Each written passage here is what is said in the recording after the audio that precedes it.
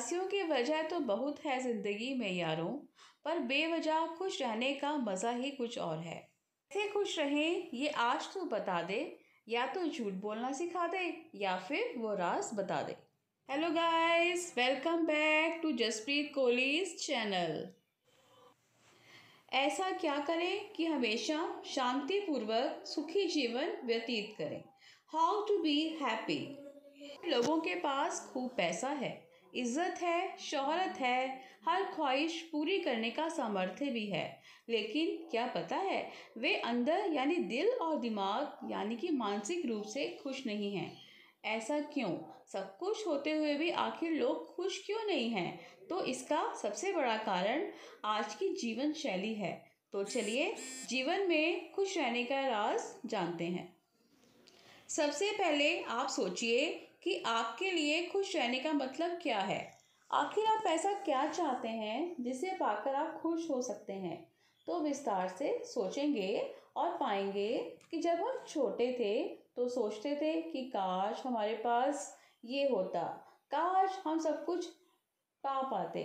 काश कहीं घूम पाते। काश हम कुछ खर्च कर पाते। लेकिन इस सोचने के चक्कर में बचपन बीत गया और हम उन चीज़ों की लालच में अपना वो समय खो बैठे। और जब थोड़े बड़े हुए तो नौकरी बिज़नेस में इतना व्यस्त हो गए, उसके बाद शादी हो गई तो दिन रात मेहनत करने लगे। फिर जब काम से थक कर शाम को घर लौटे तो यही सोचने लगे कि यार, वो बचपन के दिन सही थे, जहाँ ना कोई टेंशन थी। जब मन करे खा लिया, जब मन करे सो लिया, जब मन करे घूम लिया। खेल लिया मस्ती कर ली, पढ़ाई कर ली। मतलब अपने तरीके से ज़िंदगी जी लिया। वही दिन अच्छे थे। अब ज़रा सोचिए, जब बचपन था, तब बड़े होना चाहते थे। अब जब बड़े हैं तो बचपन अच्छा लगने लगा। यानी खुद को किसी भी स्थिति में आप खुद से खुश नहीं रखना चाहते। जो नहीं है या जो बीत गया, उसी को पाने के बारे में सोचकर खुद को दुखी करते रहते हैं। बस यही आपके खुश नहीं रहने का सबसे बड़ा कारण है। यानी जो मिला है, जो चल रहा है, उस समय के साथ रहना सीख लिया तो आप सबसे सुखी इंसान हैं। खुश रहने का कोई पैमाना नहीं होता। ये खुद से तय करना होता है कि आप खुश हैं, क्योंकि भौतिक चीज़ें हमें सुविधा तो देती हैं, लेकिन मानसिक शांति नहीं दे सकती। ये खुद के दिमाग से उत्पन्न होता है। तो चलिए how to be happy in life, happy secret life के बारे में कुछ बातें और जानते हैं। फ़र्स्ट ऑफ़ ऑल, खुद का दूसरों से तुलना करना बंद करें। खुश न रहने का सबसे बड़ा कारण है कि लोग अपनी तुलना दूसरों से करते हैं। अगर किसी के दूसरों के सुख सुविधा को देखते हैं तो सोचने लगते हैं कि, काश मेरे पास भी होता।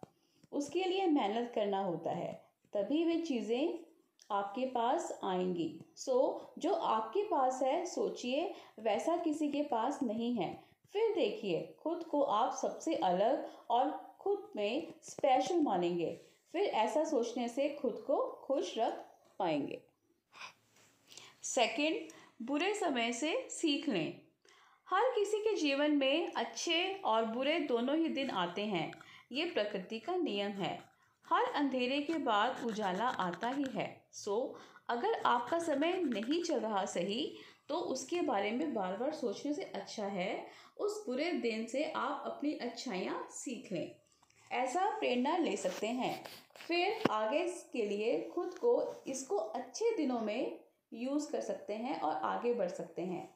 इसलिए हमें बुरे दिनों से सीख लेनी चाहिए। खुद को ऐसा सोचना चाहिए कि ये बुरे दिन आपके लिए एक नए अवसर लाने वाले हैं। बस ऐसे ही सकारात्मक विचार अपने साथ अपने जीवन में रखेंगे तो हमेशा आगे बढ़ते रहेंगे।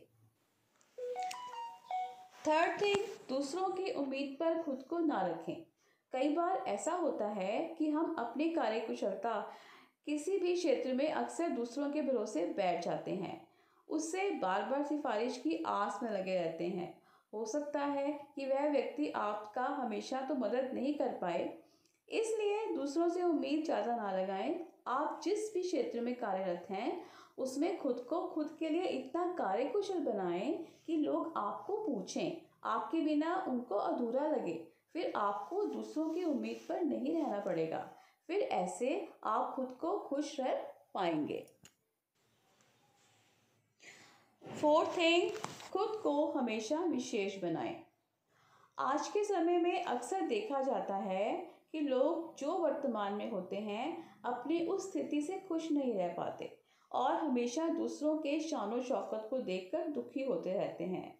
इसलिए ऐसा सोचना एकदम बेकार है। आप ये सोचिए कि आप जो भी कुछ आपके पास है, उसमें आप खुद के लिए स्पेशल हैं। खुद को हमेशा ऊँची नज़रों से देखिए कि आप अपने आप में खास हैं।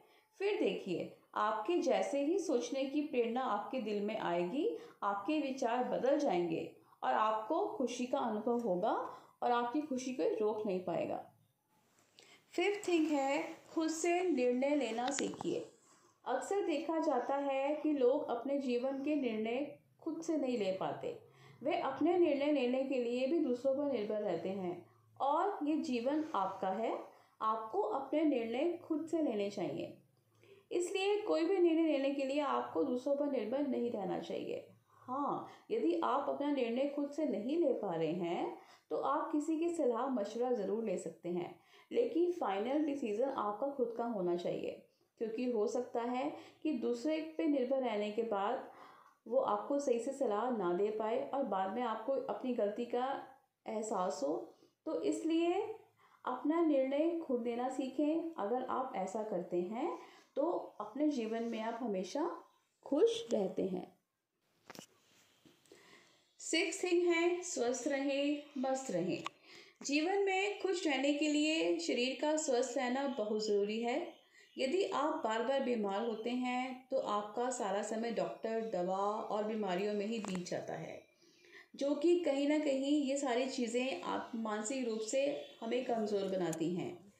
तो इन सब चीज़ों और बीमारियों से बचने के लिए स्वस्थ, अपने स्वास्थ्य पर ध्यान दें। ऐसी चीज़ें ना खाएँ जो स्वास्थ्य को नुकसान पहुंचाती हैं। इसके अलावा स्वास्थ्य को अच्छा रखने के लिए रोज़ सुबह जल्दी उठें, टहलें, व्यायाम करें, योगा करें, नियमित दिनचर्या के साथ दिन बिताएँ, उचित समय पर भोजन करें और भरपूर नींद लें। तो ये कुछ नियम थे ज़िंदगी को खुशहाल बनाने के। अगर हम ज़िंदगी में ये नियम उतार लेते हैं तो हमारी ज़िंदगी भी खुशहाल और सुखी हो जाएगी। तो आज यहीं पे ये व्लॉग ख़त्म करते हैं। आशा है कि आपको ये व्लॉग पसंद आया होगा। और अगर आया है तो प्लीज़ लाइक और सब्सक्राइब कीजिए और कमेंट में बताइए कि आप इस व्लॉग से खुश हैं।